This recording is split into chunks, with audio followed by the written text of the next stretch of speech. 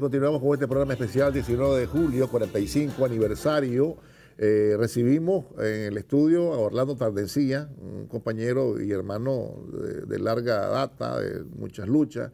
Tenemos también y queremos avisarles que después tendremos la presencia del comandante Elías Novera, un legendario guerrillero también a la orilla del Zorro y todos los demás, con el comandante Ortega, en muchas acciones guerrilleras y eh, queremos hablar con Orlando eh, algunos minutos sobre este 45 aniversario, pero antes quisiera contarles una historia.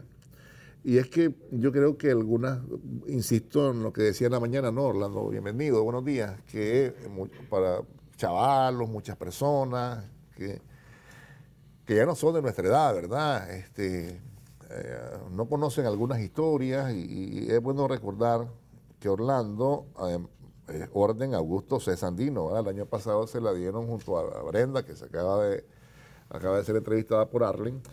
Y Orlando, luego del triunfo de la revolución, se involucró, se fue, se integró, más bien es la palabra, a la guerrilla de El Salvador. Eh, ahí lo, capturaron Los, los guardias, los representantes del imperio, se lo pasaron a la CIA, lo llevaron al Departamento de Estado, a este, a este jovencito, pues en aquel entonces era jovencito, muy jovencito. ¿Tenías cuántos años, Orlando? 19 años. 19 años, imagínense ustedes, ya andaban en cosas de hombre. Ahora hay que darle gracias a Dios si alguien madura a los 40, así es, Milton, dice Humberto Eco, por el asunto de las redes. Entonces, Orlando, a los 19 años, capturado, llega al Departamento de Estado, lo llevan allá, le hacen sus torturas y todo lo demás y, Alexander Hay, creo que era, ¿verdad? Este, este, Orlando. El secretario de Estado dice, tenemos a un hombre guerrillero que va a demostrar al aire, lo pone en un estudio de televisión, lo pone en una de las televisoras y dice, este hombre va a denunciar que el Frente Sandinista, el gobierno de Nicaragua, está involucrado directamente en la guerrilla del Salvador, porque el cuento era ese, ¿no? Que se exportaba la revolución. Y, en efecto Nicaragua, ahora sí se puede decir, ¿no? Apoyaba la revolución salvadoreña, ¿por qué no? Y esa fue parte de la negociación con los gringos, pues, ¿verdad? Al final, ya cuando se, se, los acuerdos de paz y todo lo demás. Pero Orlando decía, este hombre va a demostrar ante el mundo que la guerrilla salvadoreña es apoyada y financiada por Nicaragua. Orlando está ahí, está en vivo. Recuerdo que digo, yo solo vi, me decía Orlando Bravo, explicó estaba en el aire, la lucecita de roja, que está siempre en los estudios, y dijo, no, yo vine aquí obligado. Y el gringo se le caía la cara y después le fue muy mal a Orlando, ¿verdad? Pero lo fueron a traer los hermanos de la Embajada de Nicaragua en Washington y aquí se le recibió como un héroe. Bienvenido, Orlando, gracias por estar con nosotros y acompañarnos esta mañana. Eh, eh, quisiera antes que habláramos del 45-19, ¿qué representó para vos, qué representó toda esa lucha, verdad, que te involucraste desde temprano? Orlando fue destacado también como uno eh, de los estudiantes, de los mejores estudiantes de Nicaragua, ¿verdad? Antes del triunfo de la revolución y eh, hasta lo sacaron en los periódicos de aquella época, me recuerdo, y, eh, eh, y luego se involucra pues en la guerrilla revolucionaria salvadoreña. De tal manera, Orlando, ¿qué significa para vos todo este tiempo de luchas hasta llegar a este momento? Bienvenido, hermano. Bueno, muchas gracias, Alberto. Muchas gracias, compañeras y compañeros. Pues, en primer lugar, hoy estamos de fiesta, todos, los chavalos de siempre, los chavalos de todas las edades, los jóvenes, las mujeres, los campesinos, los trabajadores, los combatientes, nuestros líderes, todo el mundo estamos de fiesta. ¿Por qué? Porque justamente eh, hoy celebramos un año más de continuidad, un año más de lucha, pero también de cosechas, un año más de trabajo duro, pero de confianza, de unidad, de paz. Hoy estamos de fiesta, Alberto, pero es una fiesta muy ruidosa, pero también una fiesta allá en el fondo del corazón de cada uno de los nicaragüenses. ¿Por qué? Porque también hoy recordamos a los que cayeron, porque sin ellos es imposible haber celebrado esto. Estamos recordando a todos aquellos hermanos, hermanas que ofrendaron su vida, aquellos que fueron afectados, aunque tal vez no asesinados, pero golpeados, torturados, mutilados. La Brenda es un ejemplo clarísimo de ello. En fin de cuentas, por todos ellos, felicidades por este día, por todas ellas, gracias por su vida, gracias por su sacrificio, gracias por nuestros líderes incluso, porque estamos de fiesta también con ellos, por ellos y junto a ellos, ¿verdad? Que nos conducen en estas tareas. Así que estamos de fiesta todos, de una u otra manera. Repito, para todos los chavalos de todas las edades, pero especialmente por los jóvenes de edad de estos tiempos, que algunos llegan a discutir o llegan a plantear con mucha vehemencia el aporte de los históricos, el aporte de aquellos que antes de nosotros o con nosotros o inmediatamente después de nosotros en razón de tiempo participaron y se sacrificaron y dieron la lucha. Pero también llegamos a este 45 por estos hipotes, por estas chavalas también que continuaron defendiendo y particularmente defendieron como debía ser cuando nuevamente nuestro país fue atacado en el 2018 por aquella banda de forajidos, traidores, no sé si es posible decir la palabra, malparidos que entregaron e hipotecaron sus vidas. Y esta juventud que se mostró firme con aquel mandato de nuestros dirigentes, de Daniel y Rosario, que nos hablaban de prudencia, paciencia, unidad y confianza. Entonces, por eso la felicidad es para todos los chavalos. Los de antes, los de durante, los de ahorita y los de mañana también. Por eso es patrimonio nacional de la nación. Por eso es patrimonio de todos y cada uno de nosotros y nuestras familias particularmente, ¿verdad? Por eso nos juntamos todos, los mayores, los menores, los de en medio, porque esta fiesta es completa. Te voy a preguntar como viejo ahora. Bien. Muchacho, ¿y qué estabas pensando cuando tenías 18 años que te fuiste a El Salvador? Conste, que se, aquí se comenzaba a luchar desde muy temprano, desde los 14 años, 13 años, en la secundaria y todo lo demás. Pero ¿qué estabas pensando cuando te fuiste? Mira, eh, efectivamente, eh, eh, yo, me incorporé a las luchas insurreccionales. Allá a finales del 77, yo venía de Masaya, yo fui testigo, pude ver todos y cada uno de los esfuerzos de los monimboseños. A los finales del 77, comienzos del 78, la insurrección de Monimbo allá por febrero del 78. Eso me permitió, eh, y, por qué no decirlo así, me obligó a juntarme con otros jóvenes para contribuir un poquito como combatiente de base, pues, porque era éramos cipote y ahí estábamos participando. Participamos también en las insurrecciones de septiembre y en, y en las ofensivas finales y demás. Y ahí fuimos ganando conciencia, convicciones, observar la masacre del pueblo nicaragüense, los bombardeos sobre Masaya, con aquellos puchampules que destruyeron todas las dos, tres manzanas que estaban alrededor de la iglesia San Jerónimo y que por suerte, eh, cierto, ahí pues fallecieron algunos compañeros de clase mío del, Colegio Simón Bolívar, que vivían ahí. Ver ese sufrimiento, ver esa, ese dolor, y contrastarlo con la alegría, la esperanza que se creó después de aquel 19 de julio. Y ver y saber y tener noticias de que muy cerca de acá, a pocos kilómetros de nosotros, al otro lado del Golfo de Fonseca, un pueblo iba siguiendo la misma ruta que nosotros, sacrificado, bombardeado, asesinado, irrespetados de mil maneras asesinado el principal obispo mártir, católico, revolucionario, entregado a los pobres, Monseñor Oscar Arnulfo Romero y Galdame. Ver todo ese esfuerzo, ese sacrificio que el pueblo salvadoreño estaba haciendo, hombre, el llamado es inmediato. Y había que apoyar en lo que se pudiera y desde las íntimas convicciones de una juventud comprometida. Pues nos fuimos para allá a aportar.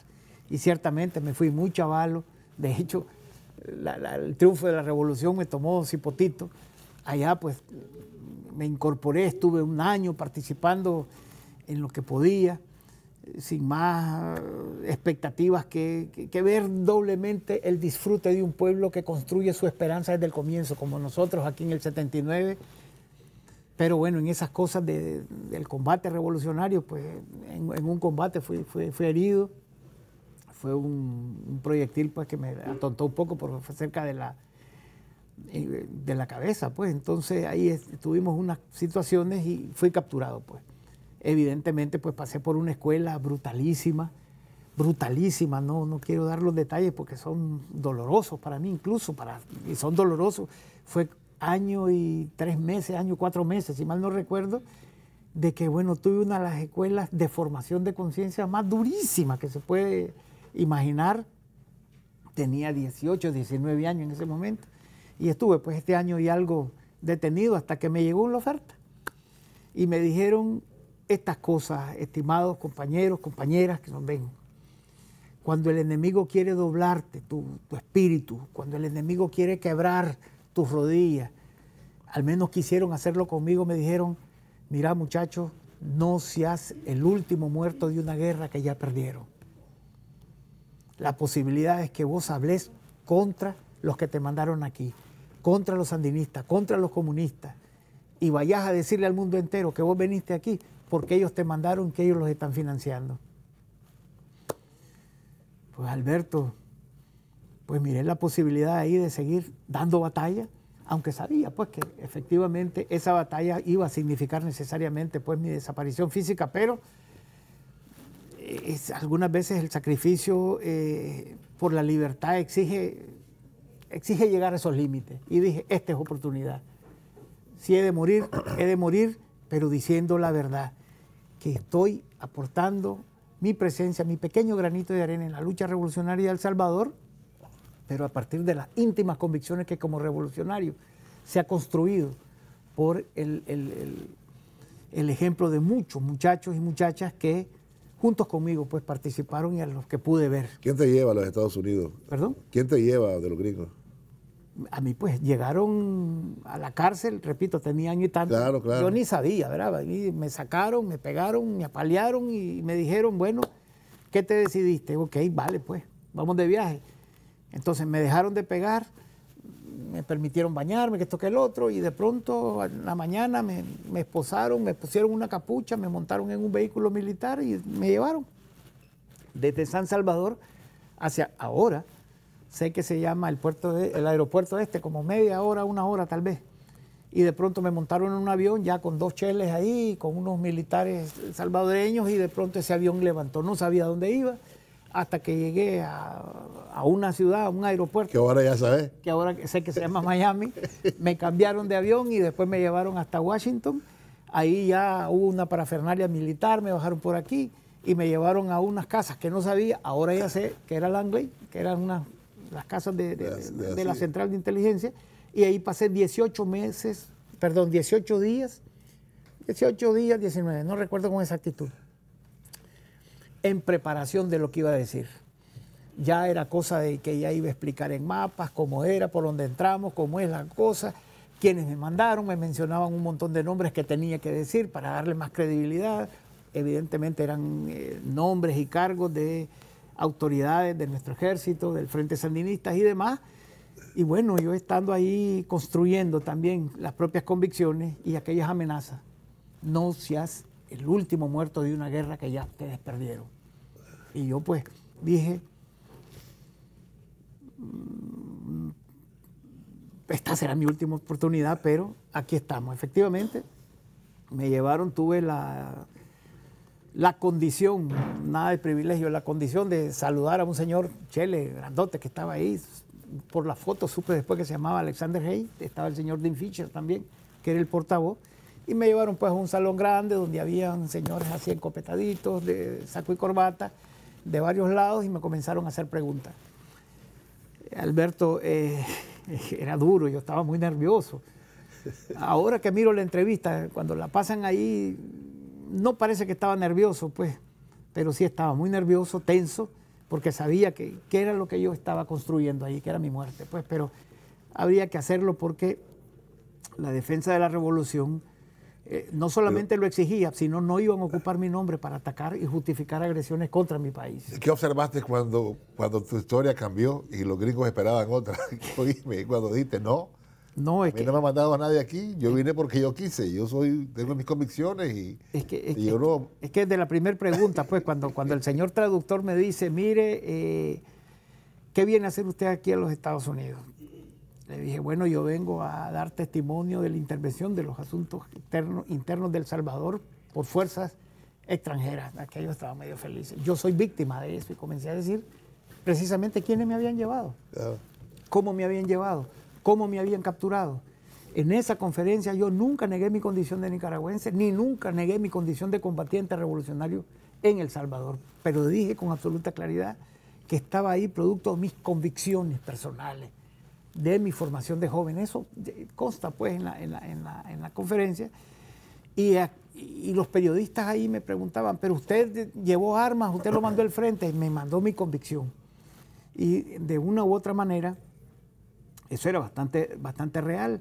Pero ellos querían que yo dijera que el gobierno, tal como vos lo explicabas al comienzo, era el que me había mandado y que era parte de un contingente que había mandado el ejército, etcétera, etcétera. Entonces, cuando vieron que comenzó a, a cambiarse el sentido, y miré que los periodistas estaban bastante nerviosos, entonces encendían más cámaras y todo, dije yo, bueno, esto dio resultado, bueno, ahora espero en algún momento pues se cortó abruptamente. Te sacaron del aire, sí. no, no, no, me golpearon.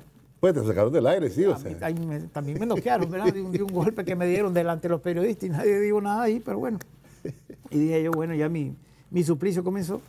Me llevaron a unos salones, me dieron un par de caricias allí y después me fueron a meter pues a otra, a otra habitación.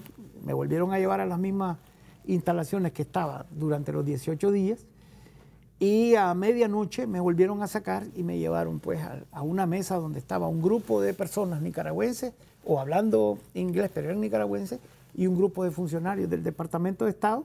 Ya estaba moviendo el gobierno yo, ni, revolucionario. Yo ni sabía eso, hermano. Yo estaba, me siguieron apaleando, ¿verdad? Durante toda la tarde y durante toda la noche. Yo ni sabía qué era lo que estaban haciendo, pero yo miraba mucha vehemencia por el grupo de nicaragüenses y aquellos retrecheros. En un momento determinado llegaron a acuerdo, me, tomaron, me quitaron por primera vez las esposas y me entregaron al grupo de nicaragüense. Eh, creo que te lo he dicho en otro momento. Eh, había una compañera periodista, ¿verdad? La Angelita. La Angelita sí.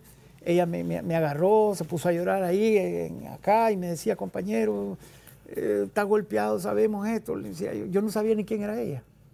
¿verdad? Eh, al final, ¿y dónde me llevan? Vamos a un lugar seguro, a territorio libre de Nicaragua. Yo, ya voy para Nicaragua. No, vamos a la embajada. Está bien, me llevaron. Dio una foto del presidente de la República, comandante Daniel, una bandera del frente, una bandera de Nicaragua, exactamente, pues como, como corresponde a una embajada de nuestro gobierno revolucionario. Y ahí ya me dijeron que esa era la embajada, que esto, que el otro, que allá. Y como eh, creo que todo el mundo entenderá que en ese momento un muchachito de 19, casi 20 años allí estaba todo pipireco, que no sabía qué. Lo que atiné a decir, mire, yo necesito hablar con alguien de Nicaragua. Y efectivamente, pues comenzaron las comunicaciones y hasta que me pusieron a mi mamá, supe que estaba en territorio nicaragüense y que estaba libre. Cuando escuché la voz de mi mamá, y ahí hablando y dando instrucciones, el compañero que lo recordaste ahora y, yo también lo recuerdo con mucha emoción cada vez que yo retomo en mi mente estos recuerdos. Hablé con el compañero canciller Miguel Descoto. Hablé con él, hablé con, las autoridades del gobierno y eh, dieron algunas instrucciones y ahí ya me sentí relajado. Cuatro o cinco días después, hermano, pasó la negociación, me soltaron, me llevaron a México me recibió nuestro queridísimo embajador Aldo, Díaz Lacayo y un 15 o 16 de marzo del año 82 llegué aquí al aeropuerto. Y hermano allá había un gentillal que yo no entendía eso. Un gentillal y me trajeron para acá fuimos a la casa de gobierno. Y desde ahí desde esos días pues me convertí en un ciudadano eh, como, como siempre fui, me incorporé a las tareas de la revolución y haciendo una cosa y otra cosa, aquí estoy. ¿Verdad? Eh, orgullosísimo de mi país, orgullosísimo de nuestros dirigentes, confiando en nuestros dirigentes, observando esa maquinaria hermosa que es el sandinismo y viendo el alma del pueblo nicaragüense que me da confianza. Me da tranquilidad saber que no solo tenemos pasado. Hoy va a hablar un caballero aquí que, hasta se me pone la, piel eriza, un guerrillero de los que yo escuchaba hablar. Creo que lo, mencionaste ya su nombre, el comandante Elías Noguera. Jefe del Frente Norte junto a los zorros. En fin, pues son, son estas son gente que, ¿verdad? Que, forman nuestro pasado, pasado, nuestro pasado reciente y nuestro presente también. Y, junto a ellos, pues, eh, me sentí orgulloso y por eso hoy yo estoy también de fiesta, ¿verdad? Celebrando el alma de los nicaragüenses, celebrando el espíritu de los nicaragüenses, con el frente, junto al frente, con nuestros dirigentes que no aflojan, no aflojaron y continúan. Y en esa confianza yo también voy a participar en la fiesta de, todos estos días, pero particularmente en la de hoy, para confirmar, no estos recuerdos solamente, sino confirmar el presente. Y lo más importante para estos muchachos de ahora, para estos chavalos de ahora, a los cuales reconozco, a los cuales aprecio, a los cuales confío en su fuerza, en su fortaleza y en su claridad. Y recordando siempre aquellas máximas que están allí en el conocimiento popular que, se, que siempre dijo, nunca la noche fue más oscura que justo antes de amanecer. Y para nosotros ya está amaneciendo. Fue dura, pero está amaneciendo y por eso vamos 45 veces más a disfrutar de aquel 19 de julio. Te quiero confesar, yo no participé en la concentración de combatientes populares en Managua, no pude venir, me quedé en Masaya haciendo unas tareas pues, de, resguardo de unas unidades de combate allá, pero los vi pasar. Los vi pasar allá por la, por la Quicateca, allá por la entrada de Masaya, y, y también pues me sentí que yo estaba aquí como estoy acá en el Canal 4 ahora contigo, con estos muchachos y muchachas que, nos ven compartiendo este 45 y que esperamos que, ellos también lleguen a los 45 y más teniendo las mismas convicciones y quizás más fuertes, porque eso es lo que necesitamos, esta juventud que mantenga vivo nuestro pasado, fortalezca nuestro presente y permita llegar al futuro. Y eso es lo más importante, porque tenemos de todo, chavalos de todas las edades. Y por eso hoy estamos felices. Te agradezco, Orlando. Gracias por haber estado con nosotros. Felicidades igual con este 45-19. Vamos a irnos nosotros con una obra de la revolución. Solo un gobierno revolucionario puede hacer esto. Y lo digo con todas las letras. Solo un gobierno el Frente Sandinista puede hacer esto, que ha rescatado todos los parques. Miren ustedes cómo quedó el Parque Las Piedrecitas. Miren ustedes.